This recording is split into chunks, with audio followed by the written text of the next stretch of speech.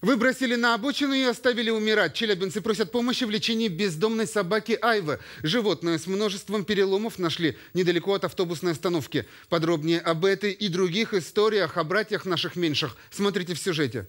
Вот в таком виде мужчина обнаружил животное недалеко от СНТ «Заречный». Собака со сломанными конечностями медленно умирала на траве. Вероятно, что дворнягу сбила машина, и водитель просто оттащил бедолагу на обочину. Челябинск, который нашел Айву, сразу связался за защитниками. Они-то и отправили дворнягу к ветеринару. На обследовании выяснил, что у собаки переломы плечевых костей, грудных конечностей и перелом костей таза. В ближайшее время ей предстоит несколько серьезных операций. А вот этот шарпей пострадал от зубов соседского алабая, который уже не в первый раз срывается с цепи. Как рассказала хозяйка пострадавшей собаки, животное подлезло к ним под ворота. Причем происходит подобное уже не впервые. На этот раз Шарпею пришлось наложить 25 швов. Но самое страшное, чего опасается ее хозяйка, это то, что очередной жертвой Алабая может стать кто-нибудь из людей. Ведь зверь регулярно сбегает из своего вольера и бегает по улицам поселка. А вот эту белокурую дворнягу ветеринары спасти не смогли. Окровавленную собаку, завязанную в мешок, нашли в мусорном баке садоводы. Животное без сознания увезли в клинику. Там предположили, что у него есть хозяева. Позже выяснилось, что не ошиблись. Он у меня убежал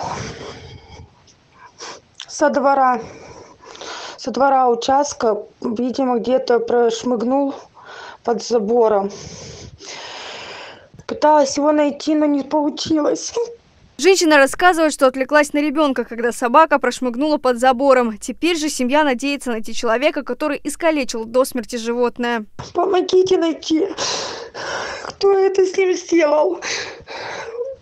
Наша семья очень переживает и просит помощи. Может, кто-то слышал, видел, как его убивали, как его мучили.